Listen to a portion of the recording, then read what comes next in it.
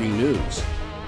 Thanks for joining us at noon. I'm Christy Tedesco. That breaking news comes from South Wichita, where Sedgwick County Dispatch confirms someone was critically injured in a shooting at an apartment complex. This is a live look at the scene, the Emery Gardens apartments. Investigators are back there trying to gather more information. This is the 4200 block of South Hydraulic near MacArthur Road.